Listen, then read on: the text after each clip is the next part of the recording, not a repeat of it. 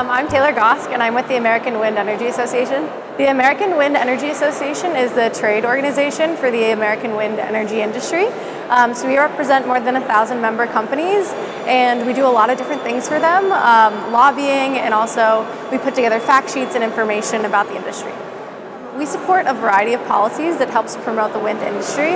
Uh, one of the ones we're specifically advocating for right now is the investment tax credit for um, the offshore wind industry. Um, we come to the expo because it's a great way to learn more about uh, other uh, sectors of the industry and to talk more about wind industry um, and get out there and meet with the other people.